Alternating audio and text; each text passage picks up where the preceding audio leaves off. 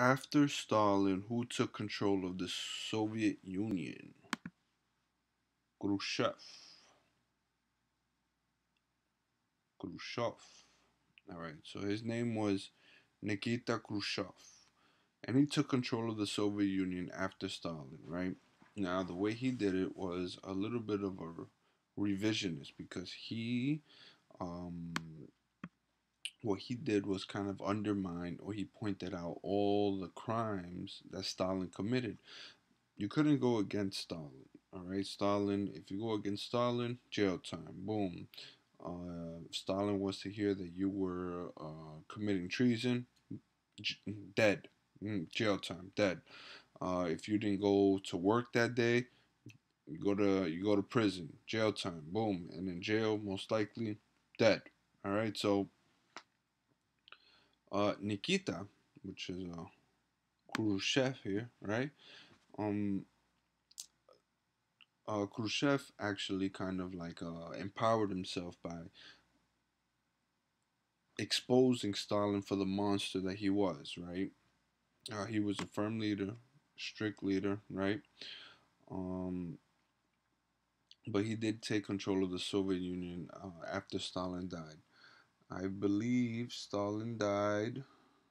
Uh, mm, 1953. There you go.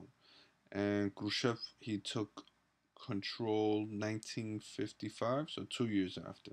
Yeah, there was a lot of debate of who was going to control after Stalin, but this guy Nikita Khrushchev, he definitely he took over.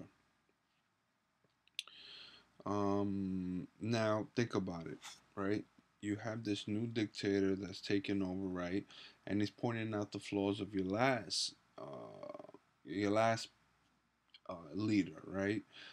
Those that have great relations with your with your previous leader, right? In this case, it was Stalin. Would kind of see you a, a bit of uh, will be hostilic and unsupportive of the entire nation itself, right?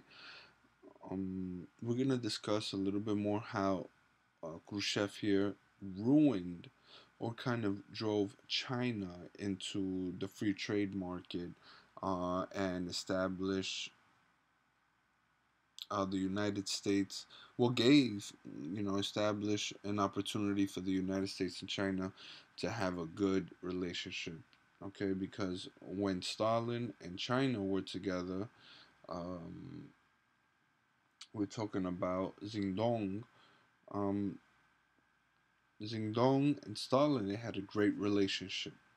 Once Stalin died, and you see Khrushchev here, you know, pointing out, you know, the monster that Stalin was, uh, the leader of China didn't kind of approve of that?